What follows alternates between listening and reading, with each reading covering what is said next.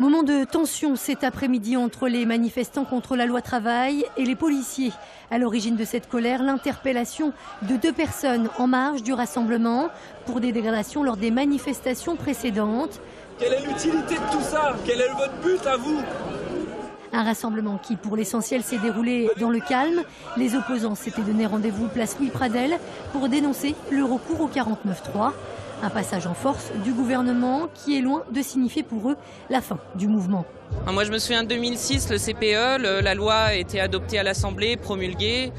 Euh, et, c'est après que la, que la, loi a été retirée parce que la mobilisation avait vraiment pris de l'ampleur. Et donc non, je pense que c'est pas encore perdu. Hein. Je pense même que ça va attirer des gens plus modérés, ou même des gens qui avaient un avis justement plus modéré sur la loi, mais qui, qui voient le passage en force institutionnelle.